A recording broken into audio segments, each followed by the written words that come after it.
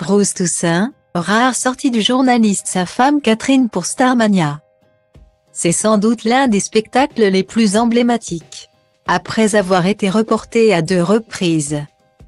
La photo Covid-19, l'opéra rock Starmania est enfin de retour.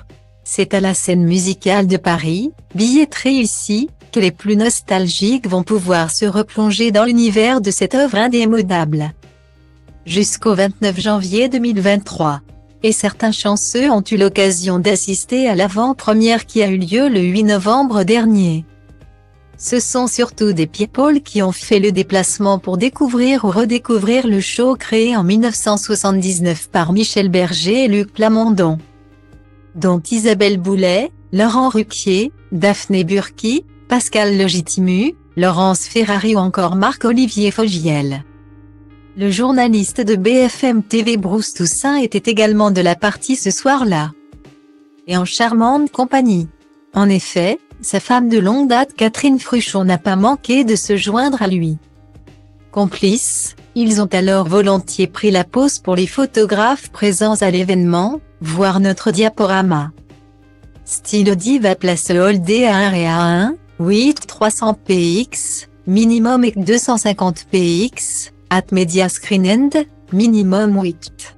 990 px, div. À place Holdé à 1 et à 1, 8 620 px, minimum et 350 px, style. Il s'agissait sans doute là d'une petite sortie en amoureux bien méritée pour le couple qui a un emploi du temps chargé au quotidien. En effet, alors qu'on connaît bien l'activité de Bruce Toussaint, toujours prêt à faire le point sur l'actualité. Son épouse est aussi du métier.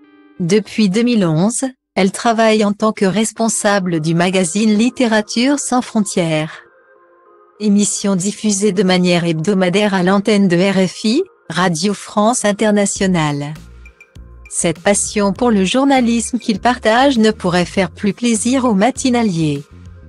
Et c'est avec elle que j'aime débriefer aussi parce que je sais qu'elle sera juste dans son analyse. Confiait-il lors d'une interview pour Gala paru en avril dernier.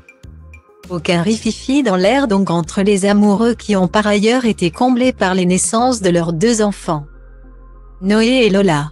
À 22 ans, cette dernière semble d'ailleurs vouloir suivre les traces de ses parents puisqu'elle est étudiante à l'IEJ, Institut européen de journalisme.